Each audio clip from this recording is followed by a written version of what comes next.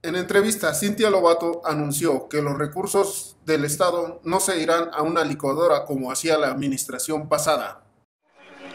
Pues mira, diferentes acerca de los, recursos, de los recursos sobre todo, pero también del funcionamiento actual de diferentes hospitales, de es que fueron muchas, fueron en diferentes temas, acerca también de los alcaldes, acerca de algunas obras que estaban pendientes, fueron pues como que diferentes temas, ¿no?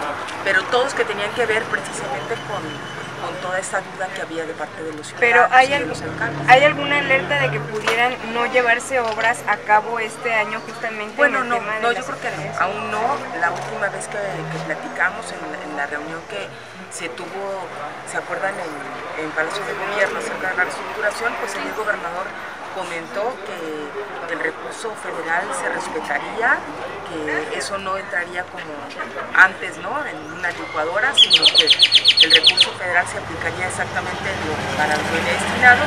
Y nos comentaba también que entre los rubros que habría eh, obras serían el, el tema de salud y en el tema de caminos.